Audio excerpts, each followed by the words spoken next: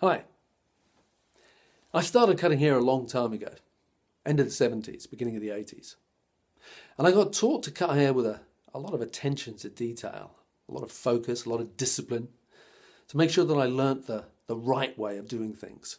And I'm eternally grateful for that training and that education. And I think that as an industry, we're pretty good at that. I think we're pretty good at, at teaching our people the skills that are needed to be successful and the technical and creative aspects of being a competent hairdresser.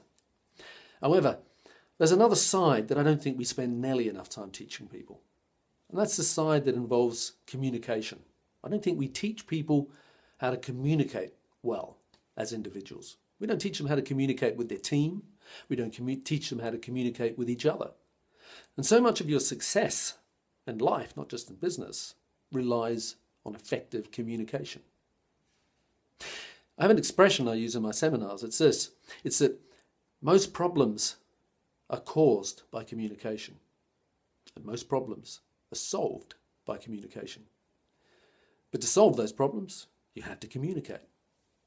And communication is very much a two way thing. It's about two different parties, at least two different parties, that are engaged in communicating with each other.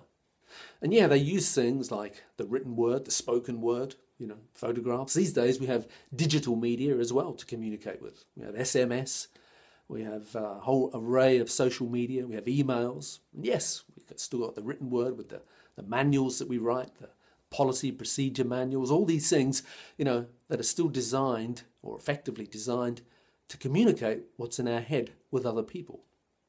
See, if we don't have these systems to communicate with people, we're assuming that they understand what we want, that they understand what our needs are, that they understand what our, our standards and expectations are.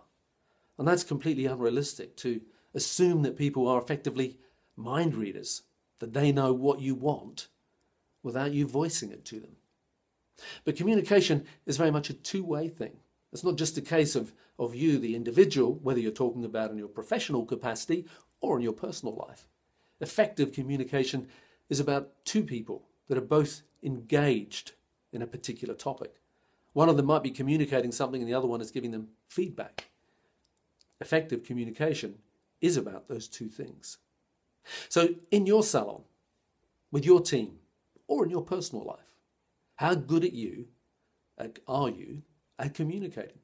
How good at you are receiving communication? How good at you at giving feedback to the other party, because that's what true communication is. Have a great week. Cheers.